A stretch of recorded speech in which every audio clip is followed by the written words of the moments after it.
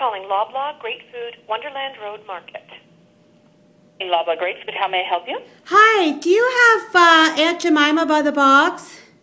Aunt Jemima by the box? You know the black lady? Yes, I do. Uh, let Um, me do- pass you to grocery, okay? Okay, thank you. Thank you so much.